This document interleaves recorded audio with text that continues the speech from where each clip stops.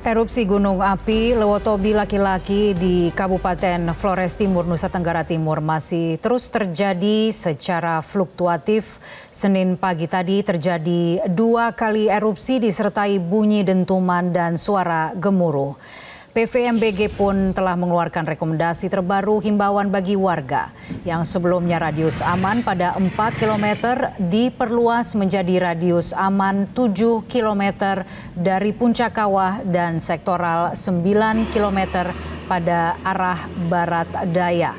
Tampak ruas jalan Trans Flores sejauh 6 km di desa Duli Pali, Kecamatan Ilebura, hingga Hokeng masuk dalam zona merah terdampak erupsi Gunung Lewotobi laki-laki.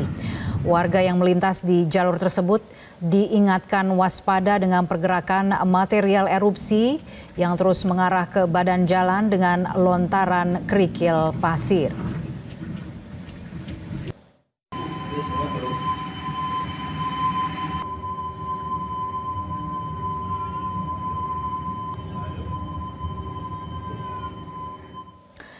Sementara itu, Otoritas Bandara Internasional Komodo Labuan Bajo, Nusa Tenggara Timur menutup semua aktivitas penerbangan dari dan menuju Labuan Bajo akibat terpapar abu vulkanik erupsi Gunung Lewotobi laki-laki di Kabupaten Flores Timur.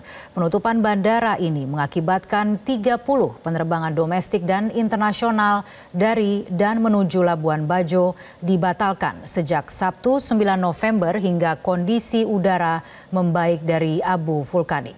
Penutupan Bandara Internasional Komodo dilakukan setelah mendapatkan hasil paper test yang dilakukan pada Minggu 10 November 2024, di mana landasan pacu Bandara Komodo masih terpapar abu vulkanik Gunung Lewotobi.